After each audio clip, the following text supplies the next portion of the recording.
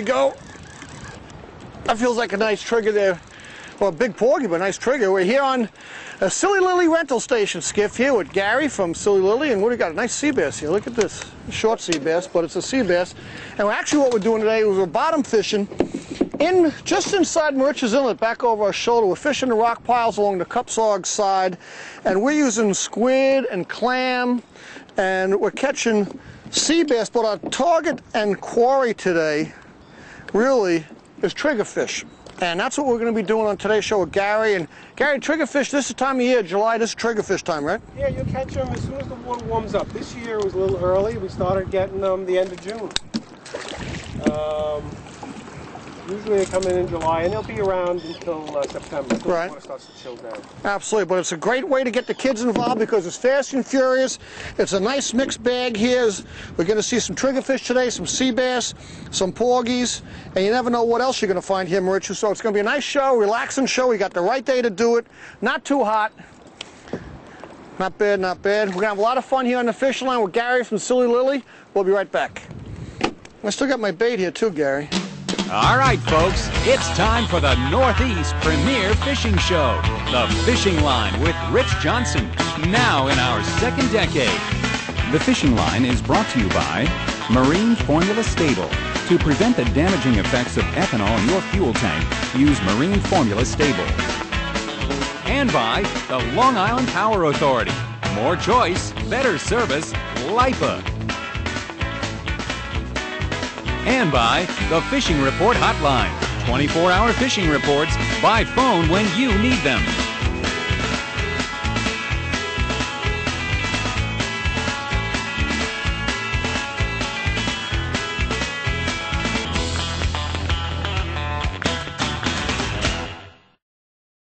This is Ed's boat. It costs big bucks. Yeah. This is new Marine Formula Sta-Bil ethanol treatment. It costs a few bucks. When Ed fuels up, he doesn't add new Marine Formula Sta-Bil. Nah. Too bad, because the ethanol in his fuel caused engine deposits and corrosion.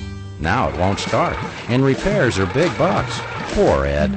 Marine Formula Sta-Bil would prevent that, with twice the corrosion protection, four times the cleaners. Now when you fill up and when you store, start with Sta-Bil. Oh, fish on, here we go. Hey, folks, when I'm not out here doing the Fishing Line television show, guess what I'm doing? I'm on WGBB 1240 AM bringing you the Fishing Line radio show every Saturday afternoon with up-to-the-minute fishing reports throughout the show, weekly guest experts sharing their tips and secrets, and we take your phone calls live on the air. If you want to know where the fish are, not where they were, join me every Saturday afternoon at 4 p.m. on WGBB 1240 AM radio for the Fishing Line. Ready for your private or group charter, Captree's 65 foot Bay Princess is Captree's only choice for bass, blues, fluke, blackfish, or any species. Large, roomy, and clean, the Bay Princess offers group charters with a family tradition and atmosphere with the Manzari family. Captain Nick's Bay Princess and Island Princess is comfortable Captree fishing at its best. For private fishing and pleasure charters or open boat half day fishing, call Captain Nick at 631 587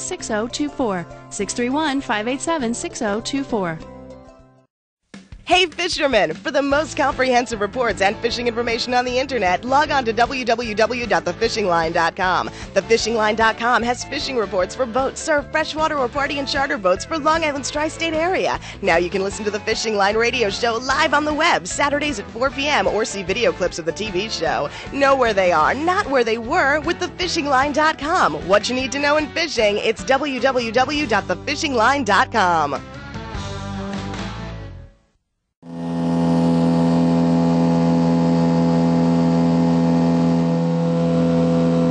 Beautiful. Water feels like it's about 75, 78, somewhere in there. Yeah, when the ocean rise comes in, it cools down. Right. Last week I was out here one day. It was 85 and cold. I think it was a north wind. What happened was it blew our surface water off. Yep. The water was 63 in the bay. Yeah. Same thing on the beach. When we had all that north wind two weeks ago, it hurt to put your feet in the ocean. It got cold.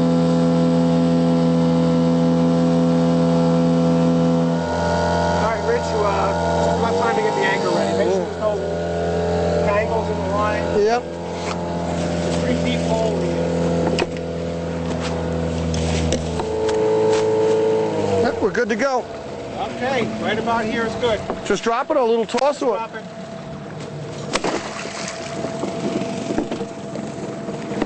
How deep are we in here, Gary? About 20 feet. Okay.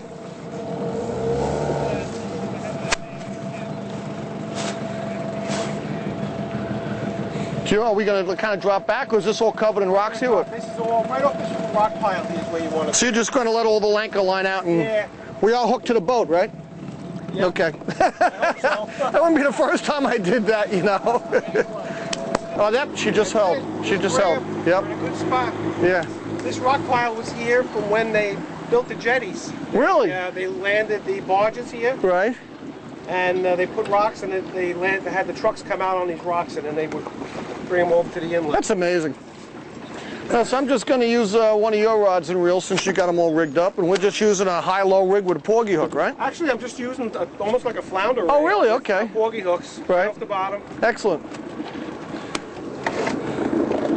We'll start with just a little sliver of clam. Right. Nice. Yeah, it's really good damn things. Wow, the thing looks great. Boy, that, that hit like a ton of bricks there, Gary. And with this tide ripping through here, this is unbelievable. It might be, a, I don't know what that, that might be a blackfish. Because they're all blackfish here in the rock piles, so They fight like blackfish. this is a good fighting fish. I made a double head or something. I don't know what this is. Taking a line on me.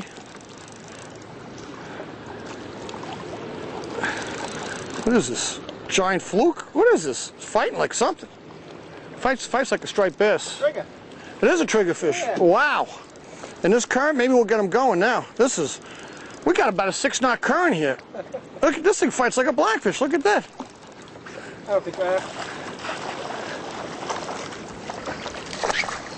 That's our quarry on today's show. There you go. Look at that. That's why you get them. Wow. Haven't seen one of these in a long time. Size. Average size. The biggest one I've ever seen was about five pounds.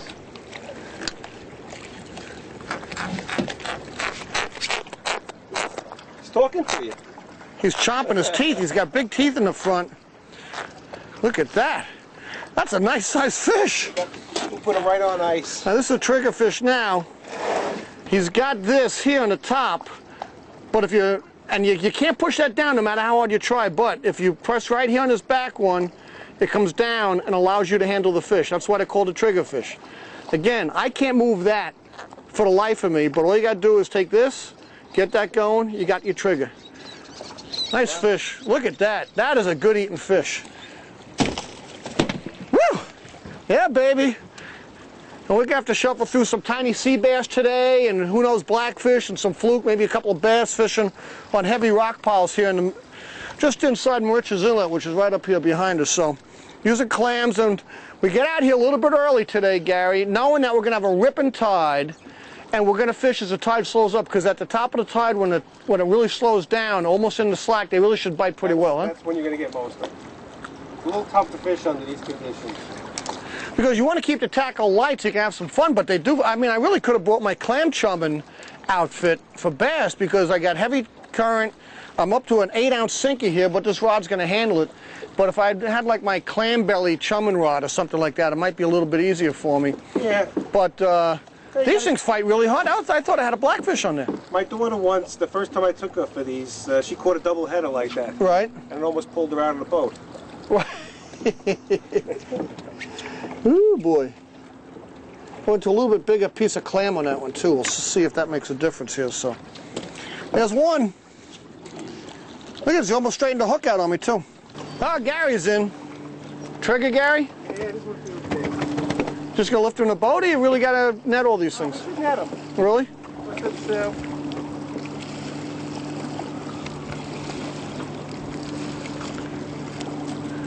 Uh, they really are hard fighting fish. It's amazing because we get them in Moriches Inlet, but we don't see a lot of them on a consistent basis in the other inlets. Like, you may get some in the Fire Island and the Sore Thumb Hole or something like that, but in Jones, uh, Jones and Debs, it's, you know, uh, you don't see many of them around the bridges once in a while. They're not like we do here in Ready? Big one. Yep, nice one.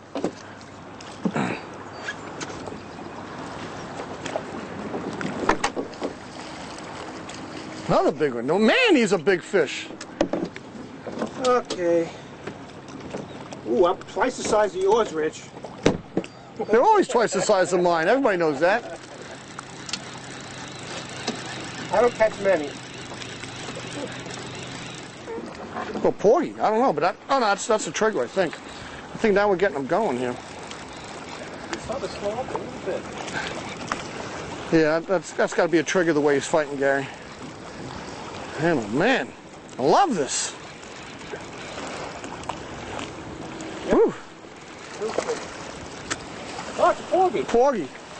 What's a Nice size porgy? porgy. Nice. That's a keeper porgy. Little summer smorgasbord here and easy, easy. Come on.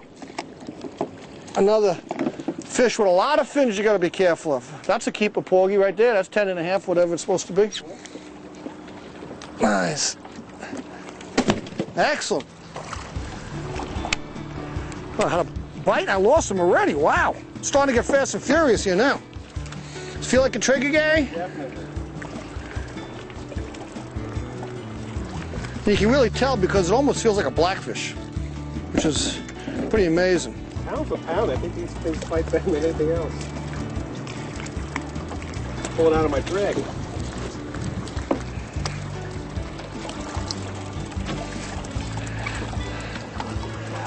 Come on, baby, come on.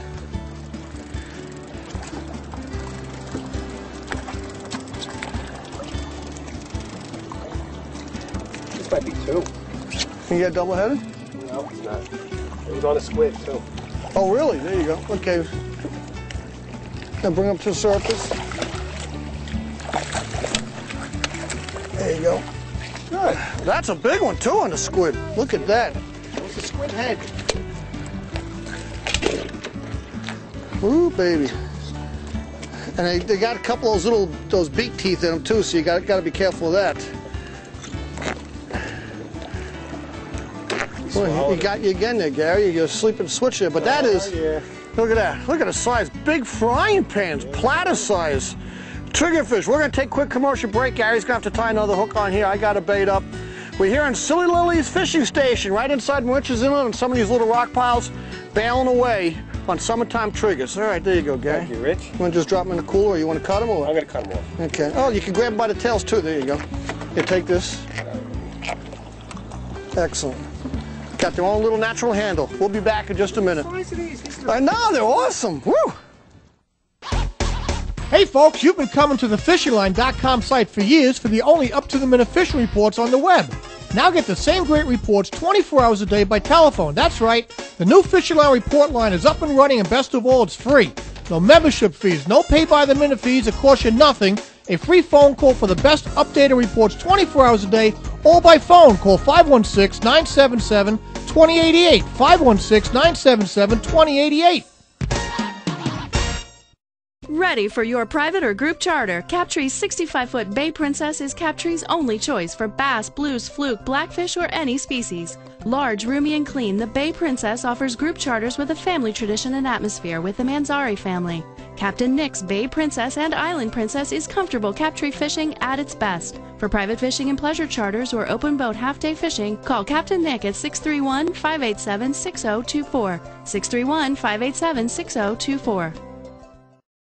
Hey fishermen! For the most comprehensive reports and fishing information on the internet, log on to www.thefishingline.com. Thefishingline.com has fishing reports for boats, surf, freshwater, or party and charter boats for Long Island's tri-state area. Now you can listen to the Fishing Line radio show live on the web, Saturdays at 4 p.m., or see video clips of the TV show. Know where they are, not where they were, with thefishingline.com. What you need to know in fishing, it's www.thefishingline.com.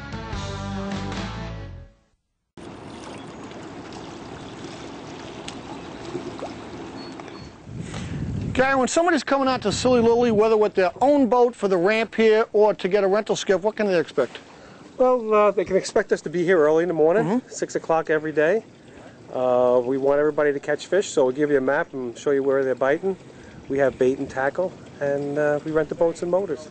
Absolutely. Now you got a wide expanse. You got certain areas for fluke, certain areas for the triggerfish, and you'll go over that with everybody in the station before Yeah. they go in the water, right? Yeah, we uh, base it on what people caught the day before. Right. Um, like, and like today, uh, we're going to try for the uh, triggerfish, and um, you want to fish an area where there's structure, either Mhm. rocks or buoy chains. Uh, when you're fishing for fluke, you want to fish the edges of the channels, edges of the sandbars, all things that you can do from a rental boat. Now here in Moriches Bay, even on one of these little rental skiffs, you can get sea bass, fluke, flounder in the spring, triggerfish like today, striped bass, bluefish, sea bass. Everything's available here. We got some great action going on now with the triggerfish. We should get back to that. Sounds good.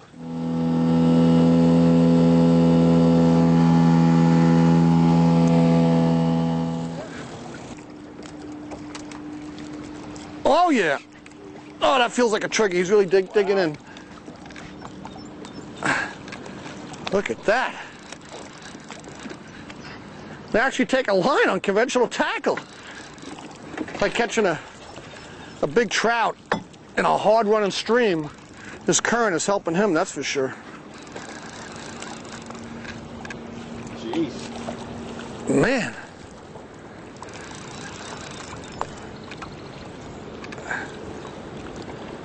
I got 20 pound braid on here, but I don't want to tighten the drag too much because then he could pull the hook. Come right out of his mouth. Now, we're only 20 feet of water. I still can't get him in here. Look at that. That's a big, that's a big one there, Gary, I think.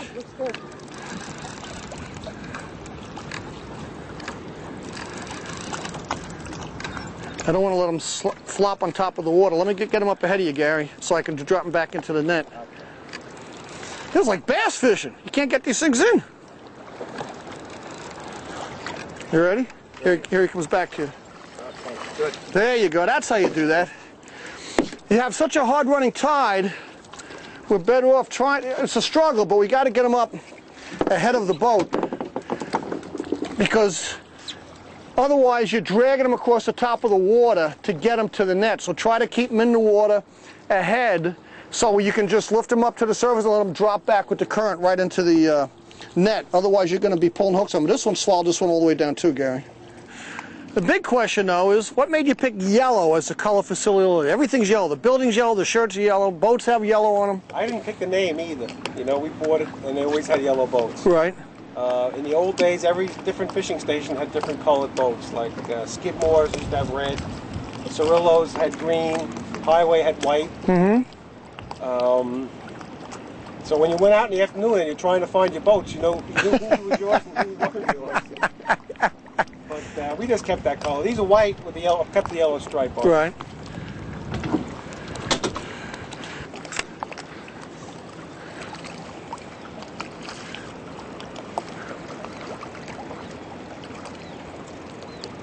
Just had a bite too. I, I think they're laying back behind the boat, Gary.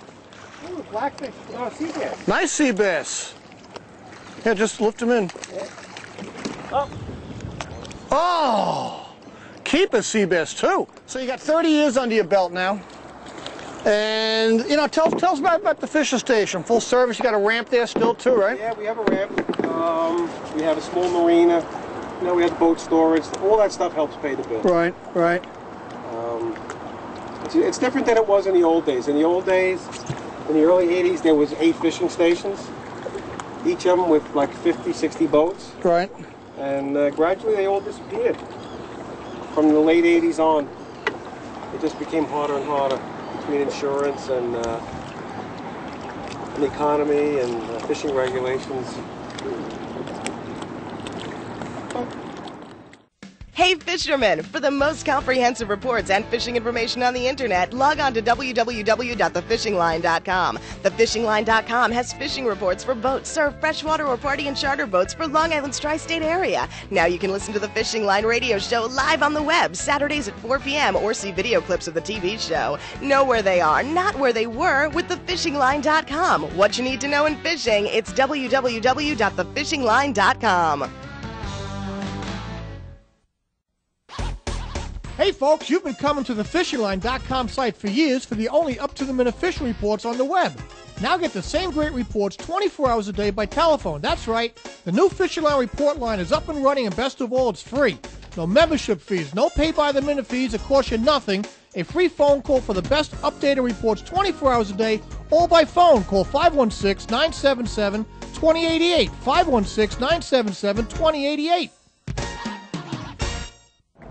Oh, fish on, here we go. Hey, folks, when I'm not out here doing the Fishing Line television show, guess what I'm doing? I'm on WGBB 1240 AM bringing you the Fishing Line radio show every Saturday afternoon with up-to-the-minute fishing reports throughout the show, weekly guest experts sharing their tips and secrets, and we take your phone calls live on the air. If you want to know where the fish are, not where they were, join me every Saturday afternoon at 4 p.m. on WGBB 1240 AM radio for the Fishing Line. When it comes to trigger fishing inside Moriches Bay, you have a couple of options. If you want to fish the buoys and the buoy chains, you can use light spinning tackle, 10 pound tests, have a lot of fun, but really don't underestimate these triggerfish. They fight very hard like a blackfish. They'll really test your tackle and your mettle as well. Out near the inlet, fishing the east cut and the west cut or the rock piles, we're using conventional tackle. We're using four to eight ounce sinkers. I was using an eight ounce sinker even with braid line, which was a good choice today. So you want to use conventional tackle for that. You want a rod that has some spring at the front of it, but you need a lot of backbone. These are hard, hard fighting fish. You cannot underestimate these fish. Small number four porgies or small number eight little porgy hooks are going to be fine for this. It's really a good option. It's a lot of fun, light tackle, and real tackle buster triggerfish. Looks like it feels like a nice one. We had to come back here from the buoy chains just for the tide. Here you go. Oh, and you got double head. You got a little sea bass with them. We're getting killed by little tiny sea bass in here too. Nice. Nice triggerfish.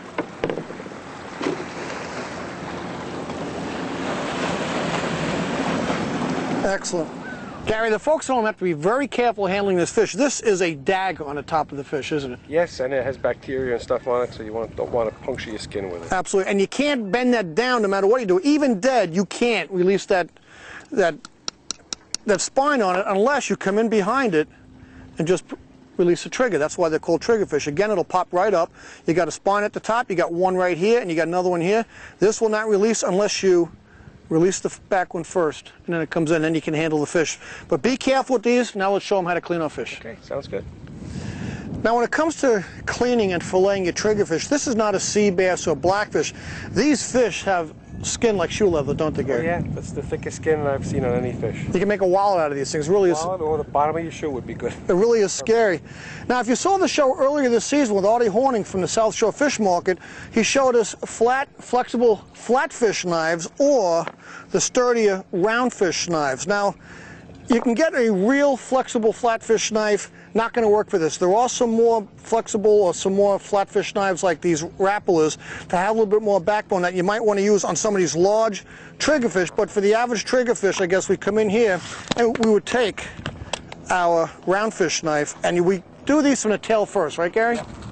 You get into the tail and basically just filleting the fish as you would any other fish, but you're working from the tail to the front. Now on some of the larger ones you might want to go to a longer blade and this way you're com coming up, you're getting through the skin which is really like, like shoe leather. And you come up here behind the fin and it's actually easy instead of cutting through this skin once you, you break this with the roundfish knife you come in this way and it's easy to cut through the backside like this and pull your fillet off like that. And then of course what you would do is with any other fish, come in here, feel for your bones, and then just take these belly bones out of here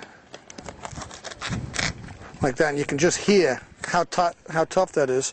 And you got a little row of pin bones here just like a porgy or anything else. You would just take that out and cut it just like that and you're basically done then of course if you want to skin it now you're working from the backside. And here I might actually go to a thinner and more flexible knife. And now it's just grab the skin pull that off and you're done like that. But you can just look how thick that skin is. There's almost no flesh left in that. It's like the sole of your shoe. It really is unbelievable. Gary that's how you do it. You just got to be careful and take your time but really working back to front to do these fish. Yep, keep your knife sharp just like you that's said. right it feels good.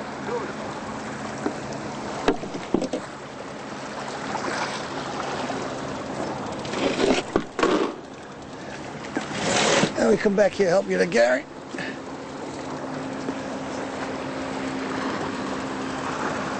Big trigger? Yeah. Now bring him up ahead of bring him up ahead of me here. And then slide him back in. Here you go. Okay, let him drop back. There you go. Nice color on that one. Nice big blue eyes. Ooh. There we Oh, that feels good. I went back to the clam. And these things are hard fighting fish. Like fighting a cross between a, a bass and a blackfish or a fluke and a black uh, fluke and a blackfish. Come on, come on. And they take out line off the drag. Fun, fun fish. Especially in this hard current. Woo! He did me a favor by going deep, Gary, because now when I bring them up, I can drop them back to you. Come on. Ooh, man. Woo, baby. You see any color off the side of the boat yet, Gary? No, I ain't seen one little boat. It's like game fishing, baby. Oh, it's a ni- look at the colors on that. Oh my. Woo. Thank you, Gary. That's a big one there. That might be that might be the pool winner today. Look at that. That's a good way to end. Yeah. Wow, good. Look at that. Man, oh man. Jumbo size. Man, oh man. Look at the colors and that beautiful blues on the eyes. I hope the camera can pick that up. Nice bars. You can tell they got bars. They're on the rocks and the mussel beds down here. Just like porgies on the reef or, or porgies on the mussel bed will give you vertical bars. Triggerfish the same way, but you can just see the beautiful blue on there. But that is a nice look. That might be one of the biggest of the day there, Gary. That's one of the bigger ones. Gary, grab him by the handle, turn around, look at that. That is fat. Nice. All right, let's bait up and get a couple more here. All right, sounds good. Yeah, nice, nice porgy, uh, nice trigger fishing.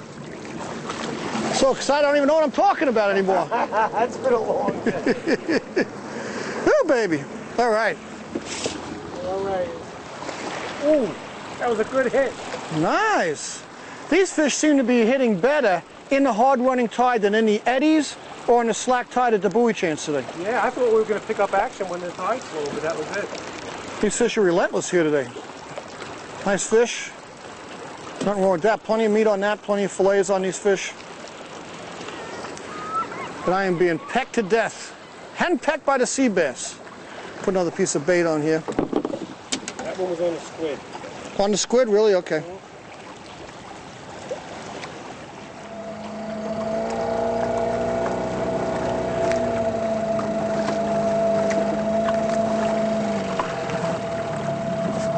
What do you want me to do, Gary? No, I'm good. Good?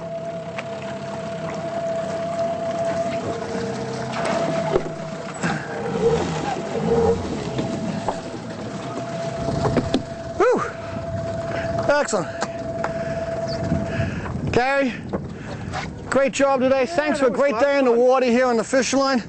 Caught some triggerfish today, showed the folks how to fillet them, which is a difficult thing because it's like shoe leather, their skin. Make sure you got a sharp knife, but be careful.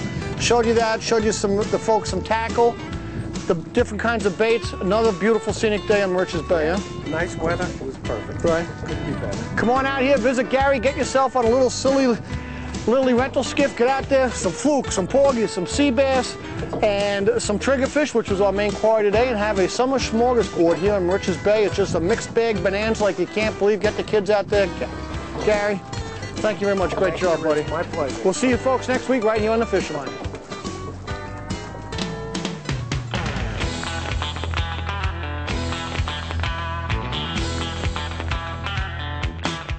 The Fishing Line with Rich Johnson was brought to you by Marine Formula Sta-Bil. To prevent the damaging effects of ethanol in your fuel tank, use Marine Formula Sta-Bil.